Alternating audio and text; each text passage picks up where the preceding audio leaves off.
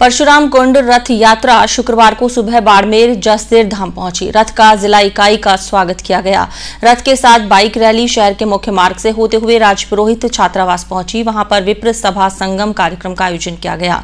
जिलाध्यक्ष गोपाल सिंह राजपुरोहित के मुताबिक भारत की प्राचीन परशुराम कुंड का जीर्णोद्धार एवं उन्नयन कार्य के लिए देश भर में ये रथ निकाला जा रहा है। अब ये रथ जैसलमेर के लिए रवाना किया जाएगा। परशुराम कुंड रथ यात्रा शुक्रवार को सुबह बाड़मेर के जसदेव धाम पहुँची। रथ का जिला इकाई का स्वागत किया गया। रथ के साथ बाइक रैली शहर के मुख्य मार्ग से होते हुए राजपुरी छात्रावास पहुँची। वहाँ पर विप्र सभा संगम कार्यक्रम का आयोजन किया गया। दरअसल विप्र फाउंडेशन जिला बाड़मेर की ओर से शुक्रवार को बाड़मेर पहुँचे परशुराम कुंड अमृत भारत रथ आमंत्रण यात्रा का स्वागत किया गया। रथ यात्रा के साथ जसदेव धाम से बाइक रैली निकाली गई। Rally BNC hotel Sindri circle Ahimsa circle Gandhi chowk Rai colony road Vivekananda circle होते हुए राजपुरी छात्रावास पहुँची।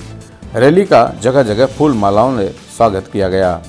राजपुरी छात्रावास में सभा का आयोजन किया गया। सभा में जिलाध्यक्ष गोपाल सिंह राजपुरोहित ने कहा कि भारत की प्राचीन परशुराम कुंड का जीर्णोद्धार एवं उन्नयन कार्य के लिए देश भर में यह रथ निकाला जा रहा है।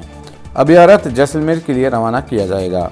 जिला महामंत्री जयप्रकाश ने कहा कि परशुराम कुंड यात्रा के पहले चरण में अमृत भारत रथ पूरे देश के अलग अलग प्रदेशों से होते बाड़मेर पहुँची हैं।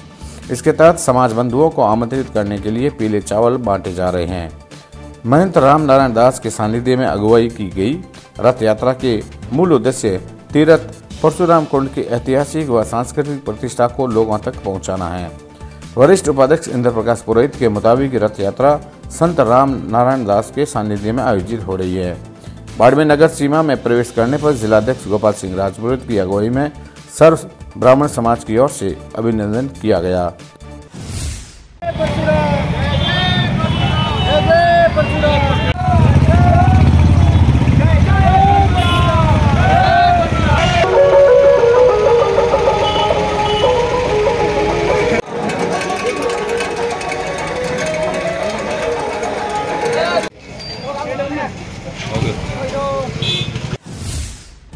राजपुरी छात्रावास में सभा के बाद परशुराम कुंड रथ को जैसलमेर के लिए रवाना किया गया। इससे पहले जसदेव धाम से बाइक रैली निकाली गई, जो शहर के मुख्य मार्गों से होते हुए राजपुरी छात्रावास पहुँची।